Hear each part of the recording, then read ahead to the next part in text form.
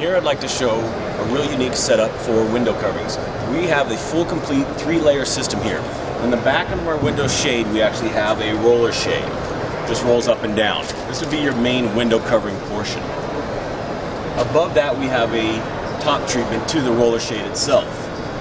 On that we have a top treatment that goes above this, which is completely fabric coordinated with everything else. And on the sides we have drapery panels. Now we've coordinated the fabric, as you can see here, with the panels here, the ties, bottom rail, and with the roller shade and the cornice box, we've created the fabric. And we've trimmed them all with the beads on the bottom of the roller, on the edges of the panels, as well as the bottom of the valance up here. Real nice, elegant look can be done in multiple different fabrics. And you can customize it any way you would like.